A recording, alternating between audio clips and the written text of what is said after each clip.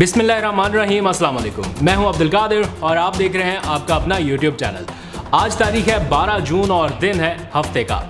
گزشتہ روز پیش کیا جانے والا بجٹ میں نے خود جا کر کور کیا اور سارے معاملات کو آپ کے سامنے بھی رکھا۔ کچھ ہم دیکھے مناظر بھی آپ نے دیکھے ہوں گے انجوائے کیا ہوگا۔ اب چوبیس گھنٹے کا وقت گزر چکا ہے، اس بجٹ کو پیش کیے گئے اور اب پوسٹ بجٹ بریفنگ بھی ہو چکی ہے۔ یعنی آپ یوں کہہ لیجیے کہ اس بجٹ کا اچھے سے پوسٹ مارٹم بھی ہو چکا ہے۔ عموماً اپوزیشن جماعتوں کی یا سیاسی مخالفین کی یہ روایت رہی ہے کہ وہ بغیر بجٹ پڑھے اس کے اوپر اچھی خاصی تنقید کرتے ہیں۔ کہ دیکھیں عوام دشمن بجٹ حکومت نے پیش کر دیا، لیکن اس بار تھوڑا سا معاملہ الٹ ہے کیونکہ پہلے عموماً یہ ہوتا ہے نیوز چینلز بھی بریکنگ نیوز بنا بنا کے نشر کرتے ہیں کہ یہ چیز بھی مہنگی ہو گئی، فلاں چیز بھی مہنگی ہو گئی، اس کی قیمتوں میں بھی اضافہ ہو گیا اور عوام بیچاری سوچتی رہتی، ٹی وی دیکھ کے اور ڈپریس ہو جاتی ہے کہ یہ کس قسم کا بجٹ ہے۔ حالانکہ کچھ لوگوں کا کوئی اتنا زیادہ انٹرسٹ بھی نہیں ہوتا لیکن پھر بھی بیٹھے سوچتے رہتے ہیں کہ یہ کیا ہو گیا ہمارے ساتھ۔ لیکن اس بار تھوڑا معاملہ الٹ ہوا۔ اور جب وزیر اعظم صاحب آئے اور ان سے ہم نے پوچھا کہ اس بار عوام خوش ہوگی تو انہوں نے کہا آپ سب خوش ہوں گے۔ اور واقعی کچھ ایسا ہوا کہ اس بار سارے نیوز چینلز چلا رہے ہیں اور ہیڈ لائنز میں چلا رہے ہیں کہ یہ چیز بھی سستی، وہ چیز بھی سستی۔ اس کی قیمتوں میں بھی کمی، اس کی چیز کی قیمتوں میں بھی کمی۔ ٹیکسز بھی معاف ڈیوٹیز بھی ختم، اور جو فیڈرل ایکسائز ڈیوٹیز ہوتی ہیں وہ بھی بہت حد تک کم کر دی گئی یعنی ہر چیز میں، ہر شعبے میں کہیں نہ کہیں عوام کو ریلیف ملا ہے۔ لیکن ایسے سارے معاملے میں کچھ فیک نیوز بھی گردش کر رہی ہیں اور یہ فیک نیوز کہاں سے شروع ہوئیں کس طرح سے مارکیٹ میں پھیلائی گئیں اور آغاز کہاں سے ہوا وہ بھی میں آپ کو بتاؤں گا۔ انٹرنیٹ، ایس ایم ایس اور موبائل فون کالز کے حوالے سے یہ کل سے خبر گردش کر رہی ہے کہ ان کی قیمتوں میں اضافہ کر دیا گیا ہے یا اس کے اوپر کوئی ٹیکس لگا دیا گیا ہے یا تین منٹ سے زائد کی کال کے اوپر حکومت آپ سے ٹیکس لے گی۔ لیکن میں حیران ہوں کہ اس بارے میں بریکنگ نیوز نشر کیے جانے کے باوجود اور عوام کو دو ٹوک انداز میں بتائے جانے کے باوجود بھی کچھ لوگ گمراہ کن خبریں پھیلا رہے ہیں۔ یہ معاملہ شروع کہاں سے ہوا وہ میں آپ کو بتاتا ہوں۔ کل کابینہ کا اجلاس تھا۔ اس اجلاس میں یہ تجویز رکھی گئی۔ جب بھی کوئی بجٹ منظور ہونا ہوتا ہے تو اس سے پہلے وفاقی کابینہ کی اس منظوری بہت زیادہ ضروری ہے۔ یعنی حکومت کا کوئی بھی فیصلہ ہے، اس کی وفاقی کابینہ جب تک منظوری نہیں دی دے گی، تب تک وہ بجٹ یا کوئی بھی کام اپروول کے مرحلے میں نہیں جا سکتا۔ تو اس لیے وفاقی کابینہ کے پاس یہ معاملہ گیا۔ کل جمعے کا دن تھا۔ جمعے کے دن ویسے بھی کابینہ کا اجلاس نہیں ہوتا، لیکن بجٹ اپروول کے لیے خاص طور پر یہ اجلاس بلایا گیا۔ اور میں نے جب یہ بجٹ کا سیشن سارا کور کر رہا تھا، تو اس دوران یہ انفارمیشن ملی کہ ایک ترمیم کے ساتھ یہ بجٹ یا فائنانس بل دو ہزار اکیس وفاقی کابینہ نے اور عمران خان صاحب نے منظور کر لیا ہے۔ میں کھوج میں لگ گیا کہ وہ ایک ترمیم کون سی ہے؟ ایک ترمیم کی گئی، ایسی کون سی امپورٹنٹ ترمیم حکومت کی جانب سے کی گئی؟ اور میں نے کل یہ اے آر وائی نیوز کے اوپر بھی بریکنگ نیوز میں نشر کیا اور اپنے ولاگ میں بھی بتایا بجٹ اناؤنس ہونے سے پہلے کہ حکومت نے ایک جو ترمیم کی تھی وہ انٹرنیٹ موبائل فون سروسز یا یوں کہہ لیجیے کہ ٹیلی فونک کال کے اوپر عائد کیے جانے والے ٹیکس کی جو تجویز تھی، اس کو مسترد کر دیا تھا۔ وزیر اعظم نے کل کابینہ اجلاس میں یہ کہا تھا کہ ہم ڈیجیٹل پاکستان کی طرف جانا چاہتے ہیں تو انٹرنیٹ کے اوپر ٹیکس نہیں لگانا چاہیے اور موبائل فون کالز کے اوپر بھی ٹیکس کی کوئی منطق سمجھ نہیں آتی تو وزیر اعظم نے اسے مسترد کر دیا اور میں نے اپنے ولاگ میں اس کا ذکر بھی کیا کل۔ بجٹ اناؤنس ہونے سے پہلے جب میں ریکارڈنگ کر رہا تھا تو میں نے کیا کہا تھا؟ آپ ذرا یہ سنیے اور پھر میں آتا ہوں، آپ کو اور انٹرسٹنگ چیزیں بتاتا ہوں۔ تھی وزیر اعظم عمران خان نے انٹرنیٹ کے اوپر جو ٹیکسز عائد کیے جانے کی ایک تجویز تھی کابینہ کے اجلاس میں، اسے مسترد کر دیا ہے۔ پرائم منسٹر کی جانب سے کہا گیا ہے کہ ہم ڈیجیٹل پاکستان کی طرف جا رہے ہیں تو آپ انٹرنیٹ کے اوپر اور موبائل کے اوپر ٹیکسز کی تجویز دے رہے ہیں جو کسی صورت قابل عمل نہیں ہے۔ تو ڈیجیٹل پاکستان کا خواب اسی صورت میں پورا ہو سکتا ہے جب انٹرنیٹ کے اوپر لگائے ہوئے ٹیکسز کو کم کیا جائے۔ تو وہ وزیر اعظم نے مسترد کر دیا ہے۔ تو اب سمجھ آئی کہ حکومت نے اس بارے میں کل ہی اعلان کر دیا تھا، کل ہی فیصلہ کر دیا تھا۔ لیکن ابھی بھی اس وقت بھی بہت ساری سیاسی جماعتوں کے سوشل میڈیا اکاؤنٹ سے ٹویٹس کیے جا رہے ہیں کہ دیکھیں جی حکومت نے انٹرنیٹ مہنگا کر دیا۔ عام عوام کی بنیادی ضرورت ہے اسے مہنگا کر دیا۔ یہاں پر ایک چیز اور بہت امپورٹنٹ ڈسکس کرنا۔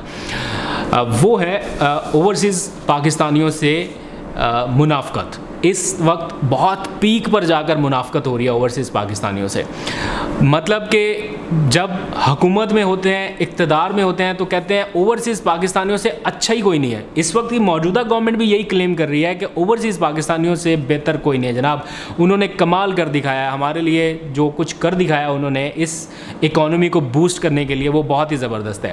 لیکن جیسے ہی اقتدار سے جاتے ہیں، آنکھیں بدل جاتی ہیں اور ایسے ہی کچھ ان دنوں میں بھی دیکھنے میں آ رہا ہے۔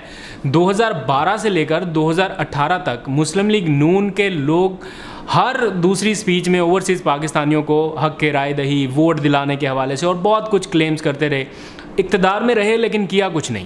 پتہ تھا کہ اوورسیز پاکستانی شاید دوسری سیاسی جماعت کے سپورٹرز زیادہ ہیں، اس لیے اس کے اوپر پریکٹیکل عمل نہیں ہوا۔ اب موجودہ گورنمنٹ بھی یہی کلیم کر رہی تھی اور جب یہ بل تیار ہو چکا ہے، ہر چیز ہو چکی ہے آرڈیننس آنے والا ہے، تو اس کو جناب جا کے چیلنج کر دیا ہائی کورٹ میں۔ اب احسن اقبال صاحب نے آج جو سٹیٹمنٹ دیا، آپ ذرا ان کا سٹیٹمنٹ ایک لفظ کے لیے نواز شریف صاحب کو ذہن میں رکھ کے سوچیں۔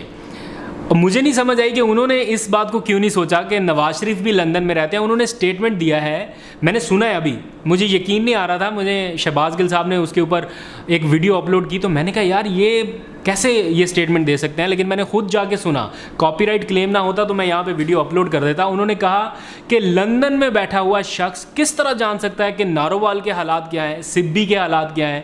آپ کے اور بھی بہت سارے شہروں کے انہوں نے نام لیے، کالام میں کیا ہے، کلات میں کیا ہے، کسی کو کیا پتا جو لندن میں بیٹھا ہے؟ مطلب ایک لمحے کے لیے آپ ذہن میں یہ رکھ کے سوچیں کہ یہ سب کچھ نواز شریف صاحب بھی تو لندن میں بیٹھے ہیں۔ مطلب یہ کہ اگر ان کی لیڈرشپ لندن میں بیٹھی ہے تو ان کو نہیں پتا کہ پاکستان کے معروضی حالات کیا ہیں اور وہ یہاں پہ کوئی کنٹریبیوشن کر سکتے ہیں یا نہیں کر سکتے۔ اگر تو واقعی میں نہیں کر سکتے تو پھر آپ لا تعلقی کا اظہار کریں اپنے اس قائد سے جو باہر بیٹھے ہوئے ہیں لندن میں اور کہیں کہ ان کو بھی کچھ نہیں پتا پاکستان کے معروضی حالات سے، وہ پھر بجٹ کے اوپر کیوں اپنی رائے دیتے ہیں؟ پھر وہ کیوں پاکستان کے سیاسی معاملات میں انٹرفیئر کرتے ہیں اگر اوورسیز پاکستانیوں کو پاکستان کے معروضی حالات کا نہیں پتا؟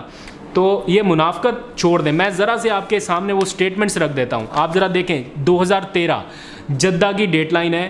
نواز شریف صاحب نے اسٹیٹمنٹ دیا کہ بیرون ملک پاکستانیوں کو ووٹ کا حق ملنا چاہیے۔ انہیں دو ہزار تیرہ میں اس ملک کے عوام نے منتخب کیا اور دو ہزار اٹھارہ تک اقتدار دیا، لیکن کچھ نہیں کر سکے اوورسیز پاکستانیوں کے لیے اور نہ کوئی ووٹنگ رائٹ دیا اور نہ ان کے حق میں دوبارہ آواز بلند ہوئی۔ دو ہزار بارہ کا مریم نواز کا اسٹیٹمنٹ آپ ذرا دیکھیں۔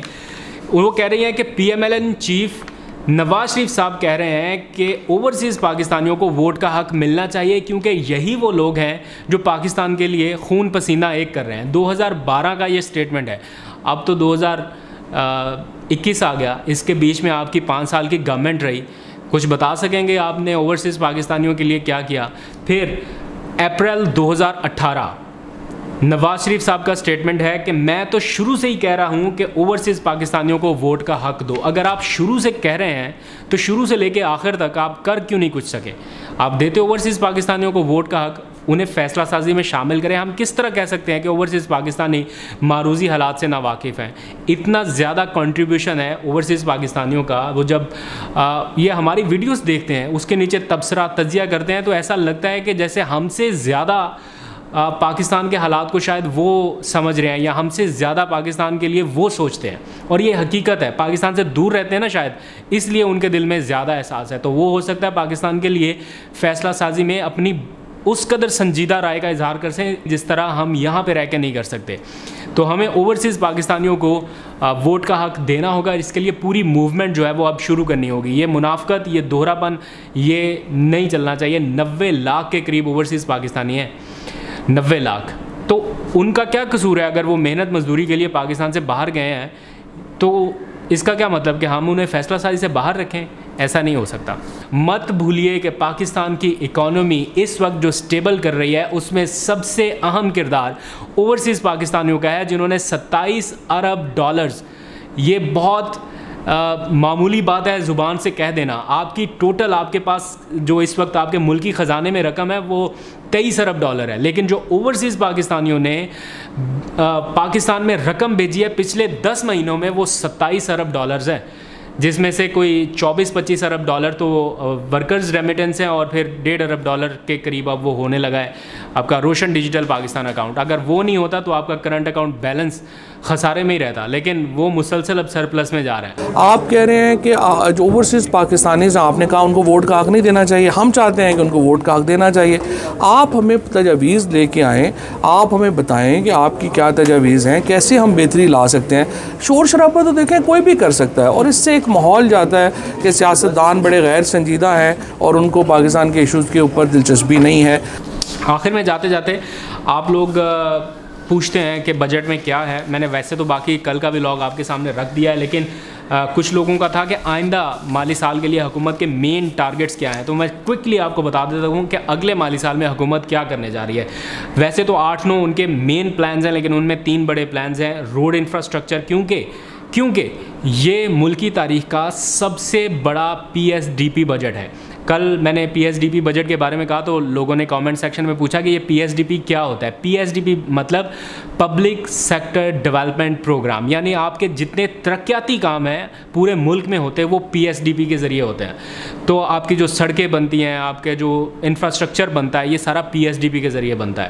تو یہ ملکی تاریخ کا سب سے بڑا پی ایس ڈی پی والا بجٹ ہے یعنی جو رکے ہوئے ترقیاتی ترقیاتی کام ہیں، وہ اب آہستہ آہستہ تیز ہونے لگیں گے۔ آپ کی روڈ انفرا انفراسٹرکچر جو پچھلے دو سالوں میں اس طرح سے تیزی سے نہیں بن سکی، وہ اب بننا شروع ہو جائے گی۔ اس کے ساتھ ساتھ سی پیک منصوبے میں بہت بڑی رقم رکھی گئی ہے پی ایس ڈی پی کے حوالے سے اور پھر خوراک، پانی اور توانائی کا تحفظ، یہ مین پلاننگز میں شامل ہیں حکومت کے، جو کہ ہونا بھی چاہیے۔ خوراک کا تحفظ کریں گے تو کسانوں کو تحفظ ملے گا، توانائی کا تحفظ کریں گے تو پاکستان انرجی کے میدان میں تھوڑا سا اور بہتر آگے جا سکے گا۔ اس کی سب فیلڈز بہت زیادہ ہیں۔ پھر ایم ایل ون منصوبہ، آپ میں سے بہت سارے لوگوں نے پوچھا کہ یہ کب شروع ہوگا، اس کی کرنٹ سچویشن کیا ہے؟ تو ایم ایل ون منصوبے کے حوالے سے بجٹ میں یہ بتایا گیا ہے کہ یہ تین مرحلوں میں شروع ہوگا۔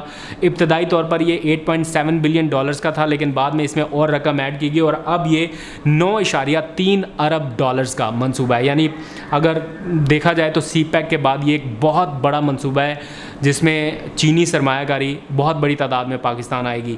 لاکھوں لوگوں کا فائدہ ہو سکتا ہے اور جو اس کا ابتدائی پہلا مرحلہ تھا وہ جون دو ہزار بیس میں شروع کیا جا چکا ہے۔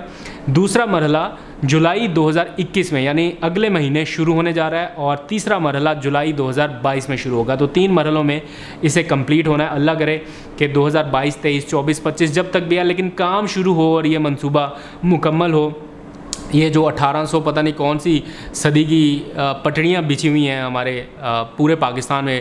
آئے روز حادثات ہوتے ہیں، لوگ اپنی جانوں سے جاتے ہیں۔ یہ والا معاملہ اس کا واحد حل جو ہے وہ ایم ایل ون ہے۔ جب یہ بنے گا، تبھی ہماری پرانی پٹڑیوں سے جان چھوٹے گی اور ریلوے کا ایک نیا نظام آ سکے گا۔ بجٹ کی دستاویزات میں آہستہ آہستہ پڑھ رہا ہوں۔ اس میں اور بہت کچھ ہے آپ کو بتانے اور سنانے کے لیے۔ لیکن میں نے سوچا کہ فیک نیوز چونکہ گردش کر رہی ہے، تو اس اس حوالے سے تھوڑی سی تصحیح کر دی جائے۔ تو آج تک کے لیے اتنے اپنا بہت سا خیال رکھے گا۔ Rodáveis.